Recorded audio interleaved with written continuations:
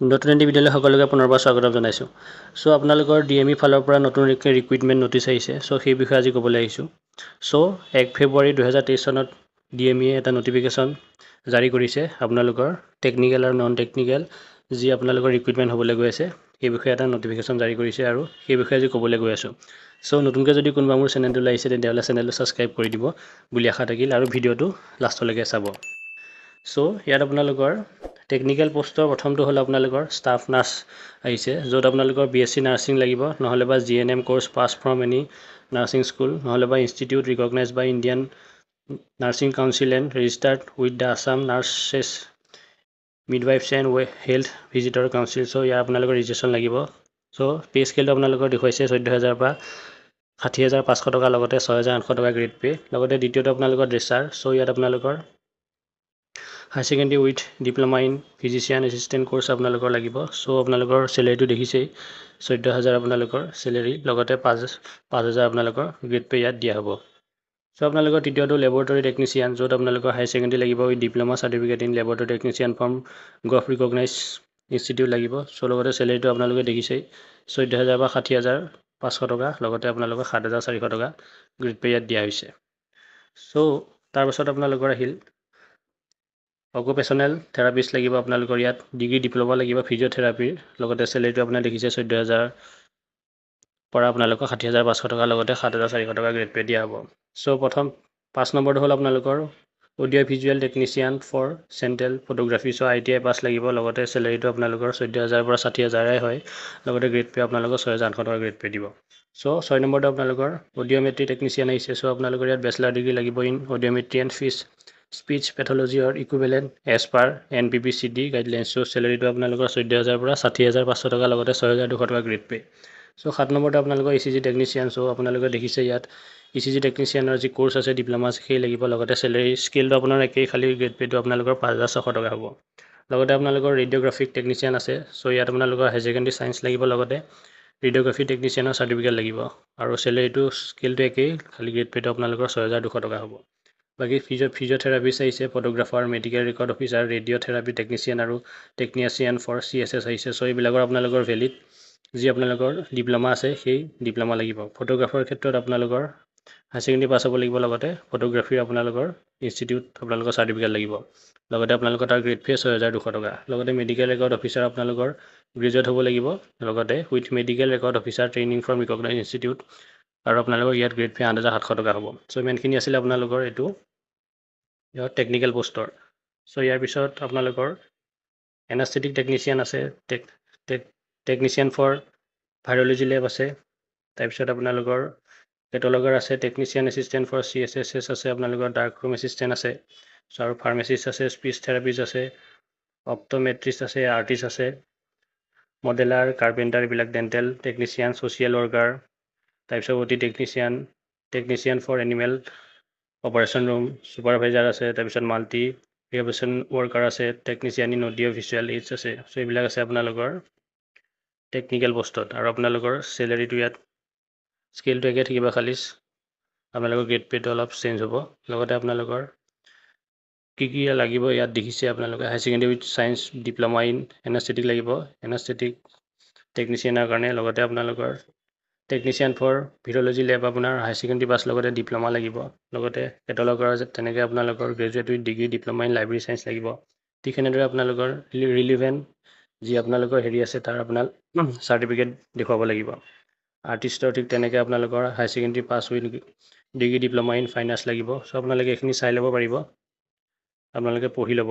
কি কি আপোনালোকৰ ৰিকুৱাৰমেণ্ট আছে ইয়াত। চ' সেই হিচাপত আপোনালোকে এপ্লাই কৰিব লাগিব। যদি চাৰ্টিফিকেট নাই তেতিয়াহ'লে এপ্লাই নকৰিব। ভেলিড চাৰ্টিফিকেট থাকিলে আপোনালোকৰ এপ্লাই কৰিব পাৰিব। চ' স্কেলটো চবৰে একেই খালী গ্ৰেড পে'টো অলপ ইফাল সিফাল আছে। চ' সেইখিনি আছিল আপোনালোকৰ টেকনিচিয়ান ইয়াৰ পিছত আহিলে আপোনালোকৰ non non technical post so' ইয়াত আপোনালোকৰ L D A computer operator আছে ডি টি পি অপাৰেটৰ আছে। ইয়াত গ্ৰেজুৱেট লাগিব লগতে এবছৰৰ যি কম্পিউটাৰ চাৰ্টিফিকেট আছে সেই লাগিব। লগতে আপোনালোকৰ স্কেলটো সিমানে চৈধ্য হাজাৰ বা ষাঠি হাজাৰ পাঁচশ লগতে পাঁচ হাজাৰ ছশ টকা আপোনালোকৰ গ্ৰেড পে' ইয়াত দিয়া হ'ব। যেনেকৈ আপোনালোকৰ এছিষ্টেণ্ট লাইব্ৰেৰিয়ান আছে আপোনালোকৰ গ্ৰেজুৱেশ্যন লাগিব ইন এনি এনি ডিচিপ্লিন লগতে এবছৰ কম্পিউটাৰ চাৰ্টিফিকেট লাগিব। চ' ইয়াৰ গ্ৰেড পে' হ'ল আপোনালোকৰ সাত হাজাৰ চাৰিশ। ঠিক তেনেকৈ আপোনালোকৰ ষ্টেটিষ্টিচিয়ানৰ আপোনালোকৰ ঠিক তেনেকুৱা এম এছ চি লাগিব ষ্টেটিষ্টিক্সত candidate having biostatistical data analysis experience shall be given preference so' আপোনালোকে প্ৰিফাৰেঞ্চ পাব। চ' আপোনালোকৰ গ্ৰেড পে সাত হাজাৰ চাৰিশ হ'ব। লগতে ষ্টেন'গ্ৰাম কম্পিউটাৰ অপাৰেটৰ ইয়াত আপোনালোকৰ এবছৰৰ যি ডিপ্ল'মা আছে ষ্টেন'গ্ৰাফি সেই লাগিব। লগতে গ্ৰেজুৱেট আপুনি হ'ব লাগিব। স্কিলটো সিমানেই চৈধ্য হাজাৰ পৰা ষাঠি হাজাৰ পাঁচশ। লগতে সাত হাজাৰ চাৰিশ আপোনালোকৰ গ্ৰেড পে থাকিব। লগতে হেল্থ এছিষ্টেণ্ট আছে কোডিং ক্লাৰ্ক আছে ডকুমেণ্ট টেলিষ্ট আছে ড্ৰাইভাৰ আছে ৰিচেপশ্যনিষ্ট আছে ৰেকৰ্ড ক্লাৰ্ক আছে ৰেকৰ্ড কিপাৰ কাম ক্লাৰ্ক আছে আপোনালোকৰ ষ্টেন'গ্ৰাফাৰ আছে store keeper cum clerk cum computer operator store keeper আছে হেল্থ এডুকেটৰ আছে। লাইব্ৰেৰী এছিষ্টেণ্টত আপোনালোকৰ লাইব্ৰেৰী যি ডিপ্ল'মা আছে সেই লাগিব নিশ্চয়। একাউণ্টেণ্ট আছে আপোনালোকৰ বি কম লাগিব একাউণ্টেণ্টত লগতে এবছৰ কম্পিউটাৰ চাৰ্টিফিকেট লাগিব। কেচিয়াৰত আপোনালোকৰ বি কম লাগিব লগতে এবছৰ কম্পিউটাৰ চাৰ্টিফিকেট লাগিব। একাউণ্ট এছিষ্টেণ্টত আপোনালোকৰ ডিগ্ৰী লাগিব লগতে এবছৰ যি diploma certificate in computer application সেই লাগিব। লগতে কম্পিউটাৰ অপাৰেটৰ আছে।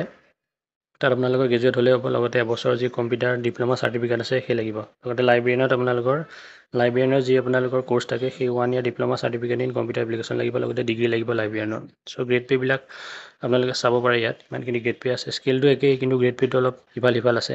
চ' আপোনালোকে এইখিনি চাই ল'ব। লগতে ইয়াত আপোনালোকৰ ক'ত কিমান পোষ্ট আছে সেই বিষয়ে ইয়াত কোৱা আছে। চ' আপোনালোকৰ নলবাৰী মেডিকেল কলেজ আছে কোকৰাঝাৰ মেডিকেল কলেজ আছে লগতে নগাঁও মেডিকেল কলেজ আছে ধুবুৰী মেডিকেল কলেজ আছে। চ' আপোনালোকৰ পষ্টখিনি দেখিছে ইয়াত। টেকনিকেল পষ্ট আপোনালোকৰ নলবাৰীত নাৰ্ছৰ দুশ তিনি আছে ড্ৰেছাৰ দুই আছে তেনেকৈ আপোনালোকৰ পষ্টবিলাক ভাগ কৰিছে। লগতে কোকৰাঝাৰ মেডিকেল কলেজত আপোনালোকৰ নাৰ্ছৰ কাৰণে আপোনালোকৰ দুশ তিনিটা পষ্ট আছে। তেনেকৈ আপোনালোকে পষ্টখিনি ইয়াত চাই ল'ব পাৰিব। বিভিন্ন ধৰণৰ পষ্টৰ বিষয়ে লিখা আছে। আপোনালোকে চেক কৰি ল'ব। ধুবুৰী ধুবুৰী মেডিকেল কলেজতো আছে। ধুবুৰী মেডিকেল কলেজত পষ্ট বেছি নাই বহুত কম আছে। লগতে নগাঁও মেডিকেল কলেজত অলপ ভালেখিনি পষ্ট আছে লগতে কোকৰাঝাৰত আছে আৰু নলবাৰীত আছে। আপোনাৰ টেকনিকেল পষ্ট কিন্তু ধুবুৰীত ধুবুৰীত বহুত কম আছে আপোনাৰ পষ্ট ঠিক তেনেদৰে আপোনালোকে এইবিলাক চাব পাৰে। নন টেকনিকেল পষ্টত এল ডি এ পষ্ট আপোনালোকৰ বিছটা আছে। এছিষ্টেণ্ট লাইব্ৰেৰীনৰ দুটা আছে ষ্টেটিষ্টিচিয়ানৰ এটা আছে ষ্টেনোগ্ৰাম কম্পিউটাৰ অপাৰেটৰ চাৰিটা আছে হেল্থ এছিষ্টেণ্ট মেলৰ এটা আছে। ত' এইখিনি আপোনালোকে চাই ল'ব। মই কৈ নাথাকোঁ বহুত দেৰি লাগিব ক'লে ভিডিঅ'টো বহুত দীঘলীয়া হৈ যাব সেইকাৰণে আপোনালোকে চাই ল'ব। লগতে অফিচিয়েল নটিফিকেশ্যনটো আপোনালোকে ডি এম ইৰ যি অফিচিয়েল ৱেবছাইট আছে তাত গৈ চাব পাৰিব। ত' আপোনালোকে এপ্লাই ডেট চলি আছে আপোনালোকে ইয়াত চাই পেলাই এপ্লাই কৰিব পাৰিব। ত' ইয়াত আপোনালোকৰ এজ লিমিট দিয়া আছে আনৰিজাৰ্ভৰ আপোনালোকৰ মিনিমাম হ'ব লাগিব ওঠৰ বছৰ লগতে মেক্সিমাম চল্লিছ বছৰ।